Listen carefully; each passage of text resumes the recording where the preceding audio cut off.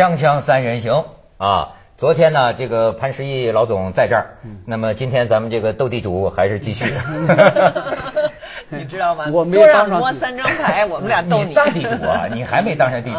当然，最近他这地主斗败的攻击啊，这个帝王，就咱们昨天说到，最近几个月来，全国创出多少个帝王？北京这个广渠路十五号，四十点六亿载入史册了。这面粉贵过面包了。嗯，那么大家现在担心的是，将来这面包必然就更贵啊。说是带动广渠路，北京这个广渠路附近的，将来这个房子都得每平方米到三万。这个话题就是大家特别关注的话题。没错。实际上，你这个房地产开发商、国有企业拿出多少亿去买土土地，老百姓呢就好像跟他离得比较远。对可是他想的呢是地价起来了，房价会不会起来？嗯。这个实际上是对老百姓购购房，就是购了房子的，他觉得房子能不能升值；没有购房的，他觉得这个房价会不会涨。你知道他们这个地主们呢，一一一直跟买房子的人，我觉得有一个一个认识上的一个矛盾。所有的人都在骂说你们房地产商暴利，对吧？暴利。但是我发现房地产商都在说什么呢？说你们算算账啊，我怎么暴利呢？甚至像人人人大炮、任志强等说连卖白菜的都不如。说这个政府的土地，政府高价卖土地，政府把钱拿去了，我这成本里头多大一部分是政府的土地的价钱，而愣说自己没什么暴利。但是我也我最近给你举个例子，上海塌楼了，你很有感想吧？对，我觉得这个事情啊是，如果是说去年对我触动最大的一件事情，是是是了毒奶粉事件。嗯今年对我最大一个触动呢，就是一个楼啊，好好的就倒了。我觉得这个对我来说的话，确而且实是倒的还触动很大。好，倒得很好完整无缺。搞得很好。他们说二零零九年的这个流行语就是说一个楼说我倒我倒我倒，真倒了。但是对你对起到什么警醒？他呀，你说这话就招骂了，因为现在网上普遍都不相信。嗯，这这这官方给出的这个解释说是什么压力差，压力差说一边堆土一边挖沟，所以层。但是他说出了这个事儿之后，他就找他的结构工程师，第一时间也做了研究。对，对，就是这个事情出完之后的话，对我来说很很震惊啊！我就让我们的副总我说是你赶紧搜集一些资料，到底什么原因？我们要借鉴这个借借鉴一下，到底什么？结果我们的这个结构工程师最后的原因呢，就说说是一边挖土挖的多了，一边堆土高了。这个在在这个确实这个楼的什么设计结构没问题吗？有个压力差，就给倒了。就是你们自己的工程师的调查得出结论跟官方的这个官方的的这个结论还没有公布的时候，我们的三四个结构工程师给我的结论就是这个结论。就是压力一开始呢，我就不太相信啊，嗯我说这样一个炉因为压了一点土就倒了，说是连是咱农村的房子都不如。是啊，他那给我说了个道理，我能够理解，就是一个柱子啊，高高的一个柱子啊，从上往上压的话，承受的力量是很大的，可是这个横向有个力量的话，可能很小的力量就会把它给掀倒。这个不知道 啊，这这什么意思啊？就在你盖的楼里，我们要堆个十米高的土也倒是吗？呃，不不，你不要说我的楼是吧？我也不会，一边堆着土高，一边呢再挖个坑，它就会产生一个这个方向的一个力，啊就是这个柱子和炉啊，从上往下压的话，受的力量是会非常大的，对，就跟你人侧面咱也不能允许这么容易就。呃是不是还是他这桩子太细了呢？或者桩子这个材料呃 是个豆腐渣儿柱子，有没有这个因素它这最后都？检验的结果不是豆腐渣，是吧？哦，就这柱子完全是合合柱合乎就标准的就从设计和施工上来说都是合理的。我也没有去现场看，可是我们要相信 相信专家，相信专家专家现在经常被打问号，专家仅次于开发商了，已，经。那就按你说的这个，跟跟官方一致，压力差。那你觉得这个是什么问题呢？是什么教训呢？我觉得就是施工的过程中，呃有可能是呢设计的过程中，如果是你设计这个楼房的时候啊，要跟整个周围的地下室、停车库要要在一起，要在一起设计。设计完施工的时候也要在一起施工，别让这个楼房都装修好了，马上要入住了，在旁边又折腾着开始挖，是吧？但是我在他博客里还见到他讲这个上个世纪是八九十年代嘛，上个世纪八九十年代，我在韩国也是啊一一连串的出这种，特别恶性的事件，就几百人就桥塌了，百货公司塌了，一死就死几百人。其实韩国才三千多万人，就在在他大规模的城市建设之后，留下来了好多的隐患。中国是十三亿人，这个大规模的建设的量比韩国当年建设的量是大得多。所以我们现在出现任何一个问题，无论是一个大楼着火也好，一个大楼塌也好，应该是广泛的讨论，是吧？怎么讨论都不为过的，千万不要呢，就是不让别人发表意见。啊讨论之后，我们发现问题的话，马上去改，是吧？没错这是人命关天的事情，是吧？另外呢，就通过这些东西，就给大家一个安全感。而且在是不是在这种急速经济急速发展的过程当中，各国都有类似的事情，我们应该借鉴。你刚才说，就是去年给你印象最深是毒奶粉事件，我就记得这三鹿奶粉出来的时候，其实当时我还有点意外，就是说，呃，美国的报纸登了一个，就是说，呃。他们的反应，这个反应就是说，一百多年以前，我们纽约出的完全一模一样的毒奶粉事件，死的人非常多呀。而且他们那个时候，也就是说，呃，媒体去调查了也不行，还是不就是曝光率也不够，然后呢也没有解决的办法，然后这个事情不断在发生，好像过了将近好好几十年才解决的。呃，当然后来也发明冰箱啦什么等等。这就是说，它在一个激素发展过程当中，因为呃贪贪婪人的呃呃商人的贪婪，然后因为他技术上的问题不过关，然后粗制滥造，这这种东西再加上一个不够透明的这么一个体制，会造成普遍的会出现这种非常恶劣的问题。你你说这个，我为什么咱本来聊帝王呢？我就跟你说这个，人家记者这一查，咱是不是跑题了？哎，没跑题儿，没跑题啊。好这就说到他的这个楼啊，嗯他当年拿到这块地叫做腰标。嗯，你像你帝王，你现在是是举举这标嘛？他腰标腰标，后来这记者算，大概是拿到这个地的价钱每平方米才六百多块钱。是，而同期的公开招标的这个都接近两千块钱一平方米。那么你就在拿地的这个过程中，而且最后说这个公司是个官家的公司嘛，至少是跟官家有各种各样关系的。那么这个事儿，你有什么感想呢？我觉得这个社会要安全，就是我们居住的安全、食品的安全，要防止腐败。最重要的是要把所有的事情放在阳光下。嗯，就是在这个土地交交易的过程中，最好的办法就是挂牌拍卖，这种办法是最好的。等到你招标的过程中啊，就可能呃呃给你搞个猫腻，嗯标书上面设计一个猫腻啊什么东西。如果邀标的话，这就是一个半黑箱的交交易。那像这种嗯广公开渠路，这是不是公开？这就太公开了，了。所有的人都知道，是吧？谁举牌子，这个在在那这样一种情况下，对，就就不存在腐败了。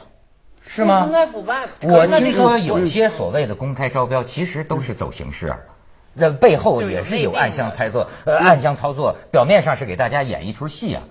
那演戏这样多的人，我我也是演员，是吧？在这里面十多家互相之间举，谁举的价格高，谁就中了标了。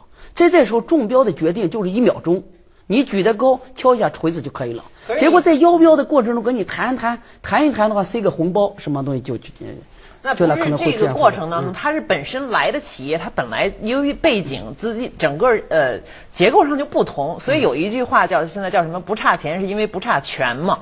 就是说你有了权，就正就意味着你就财大气粗，你就能有大的资金打败你，这是不是也是一种不平等啊？就起点上就不平等啊。这这个是另外一个不平等，就是他的钱从哪来的？就在目前的环境中作为一个私营企业、中小型的企业，要拿到银行贷款是非常困难的。门槛拿到的话，利率也会非常高。你要发个债什么的，利率非常高。作为大型国营企业拿款的话是非常容易的。嗯咱们就撇开这个资金的来源，只是在招标的现场，我认为是最好的办法，最透明的办法，不会出现腐败。就在这个现场，这现场这个上面已经做到了公开。如如果是咱们再深究你钱从哪来的，这就比较复杂了。但是呢，你要这么讲，我还跟你说另一件事儿，就是你比如像任志强，就对我觉得对政府有微词。他说呢，你们老说房价这个高，他不是说地价高，对吧？那么地价是怎么弄高的呢？你比如说，他打比方说，说北京这一下出来这么多地王，对，他说你要这些地块儿同一天拍卖，对，就不会搞得这么高。对。你和他说有没有可能是你有关方面哎放一个出来吊吊胃口？对呃，那当然政府也是可以理解的，他想增加土地收入嘛，增加土地收益，所以过一段时间抛出一个让你们抢，让你们争，最后弄高了，那弄弄弄高了，必然到最后房子的成本更加高。对对。任志强呢？获益的是政府和这些大国企。对，任志强呢，最近一段是老争论这个房价抬高了地价，还是地价抬高了房价。你不同意吗？这个问题呢，不是说我不同意，就是哲学上有个问题啊，到底是鸡生了呃，这鸡生了蛋了，还是蛋孵了鸡了？永远可以争论下去。这个我觉得就是个蛋生鸡，鸡生鸡的关系。就是鸡和蛋是一回事儿了，那官商是一回事儿了。呃，就是这个房价和官商就跟这个鸡生蛋，蛋生鸡一样。再讨论三年，还是这个结论，还没有结论的。啊。呃，可是呢，他说这个东西就是你老是一块一块的地推着出来，人们就抢这一块地，放出来一个东西去抢，能不能集中的供应？嗯。我觉得一个是集中供应，第二个呢就是说，呃，之所以出现地王的泡沫是。两个原因，第一个原因就是土地供应少，物以稀为贵，别人去抢；第二个就钱太多，你银行上半年放出去七万个亿，钱多，而且这钱呢又很集中。嗯，就留在国有企业的手里了，他就会抢。是没有限定的，可以不可以加一些这种政策上的限制呢？就鼓励你。每一个企业都有它的自主权，是吗？这个你很难去。逐利本能，对，这也是有一个问题。这方面他的本能也很强烈。是，所以，所以从所以从这个角度来说，要要来限制地王，第一个是政府要增加土地的供应量。对。第二个呢，就是让让这些资金，银行出的资金啊，能不能平等一点？公平一点是吧？就各个行业都有，大型企业也有，小型小型企业也有。嗯，别让这个苦乐不均，穷的穷的快死了，富的富的快乐死了。经常是旱的旱死，涝的涝死。是是。咱们去一下广告，锵锵三人行，广告之后见。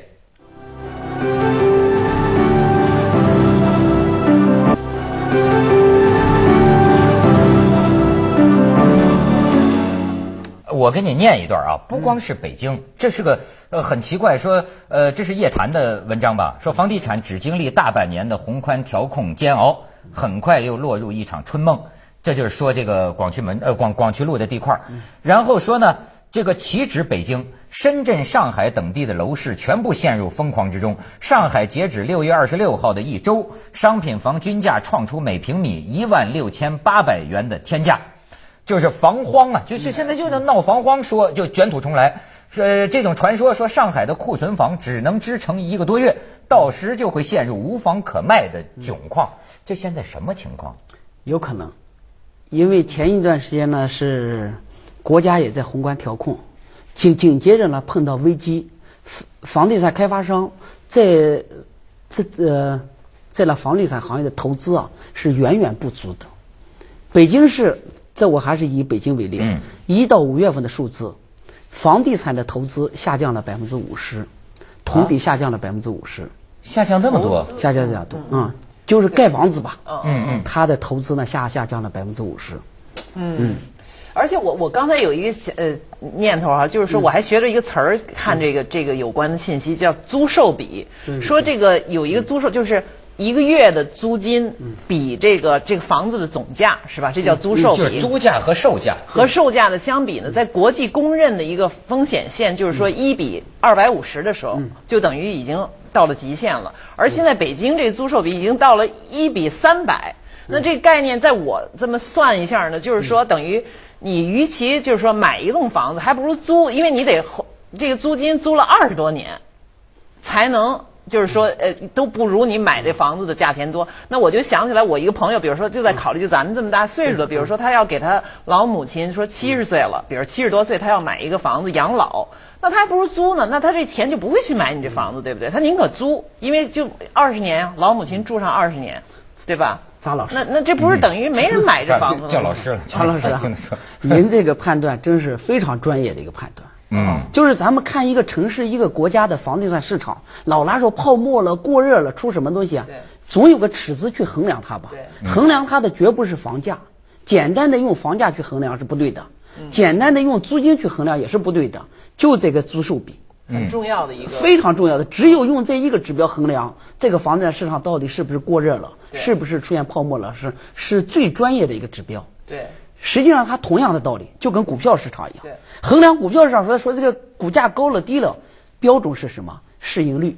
啊。市盈率的经济含义跟这个租售比啊，或者叫租金回报率的含义是同样的，对，是同样的含义。因为人家用自己的辛那么说苦钱来买房，他是要算计的。如果我买远远不如我租合算，我干嘛要投的？那么就有这么句话说，一个城市就你刚才讲这个警戒线，租售比如果超过一比二百五，一比二百五，那这二百五了。说超过二百五的话，足以吓退大多数投资者，这是什么意思？他这就就是这个这个租金回报率啊，就会非常非常的低。因为他呢为什么要买房子呢？我就可以租房子啊，付的租金少啊，啊房子售价高啊。而且那次投资，呃，嗯买房是为了投资的，他就觉得我不值啊，买了我出租那租金那么低，我干嘛呢？这是衡量的尺子，是啊，就这个租售比或者叫租金回报率啊，是衡量这个房子的尺子。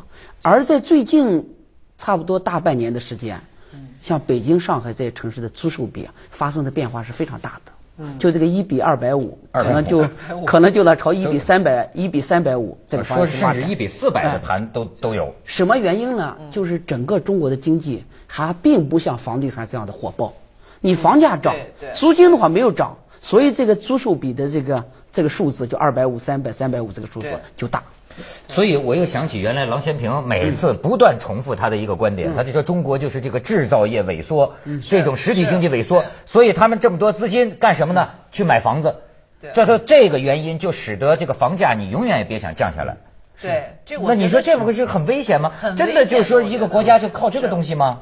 这个经济啊，不是很大的问题就跟人体一样，它可能有心啊，有肺啊，有它的消化系统啊，有那各种各样系统组成的。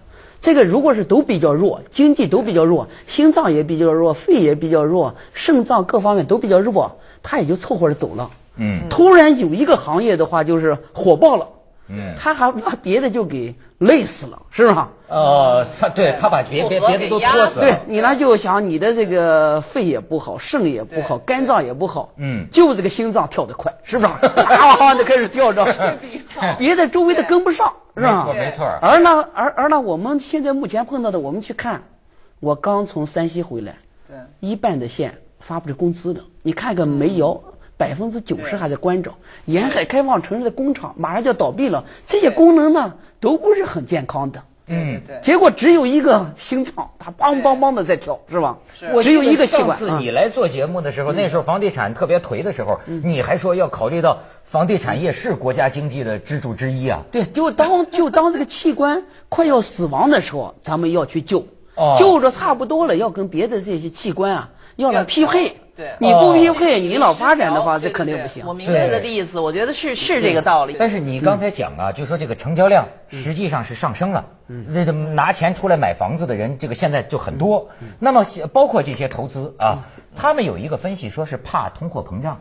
呃，有这个因素，觉得各国政府都花了这样多的钱，对。社会财富没有增加，这就很可能有一个通货膨胀的预期。就是说，是不是怕咱们这个钱不值钱了？对赶快换换房子，换换嗯，都是有这个情情情况吗？有了这样一种想法的人是比较多的。但是你觉得这个通货膨胀的危险是存在的？我觉得这跟病毒一样，已经迁入到身体里面去了。当了经济还不景景气的时候，显露不出来；当了经济如果是恢复的时候，这个通货膨胀会来表露出来的。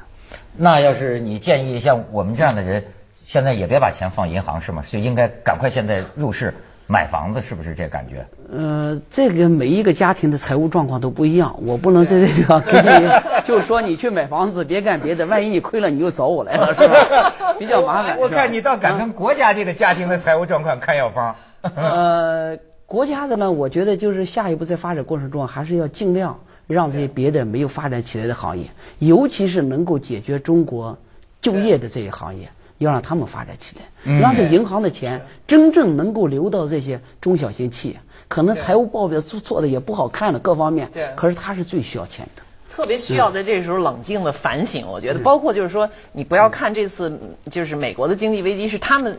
引引起来的嘛，就是他们华尔街的贪婪等等，他们可能好心办坏事，本来是想给穷人多呃呃降低贷款的门槛，结果最后引起这么大的一个泡沫。可是还是至至少美国人里边，我觉得有一批人是在反响，包括奥巴马他们这种，就是说要扭转这种结构性的错误。你要要把把，比如说环境的问题，呃，解决新能源的问题，那就有可能他是在为下一轮的恢复之后再创新，再铺垫，对吧？虽然现在他受到了批评，他就是奥巴马的这个政策也放了很多钱，呃，失业率还没有还没有降低，也觉得哦他可能失败了。但是所有这些批评的声音，就是在不断在反省，这是特别重要。我觉得中国也是，不要觉得我们的经济危机还没有美国大，或者我们的责任不如他大。嗯，一定要听进批评，在随时反省和调整，这特别重要。这这天天讲，月月讲，年年讲，哈！锵锵三人行，广告之后见。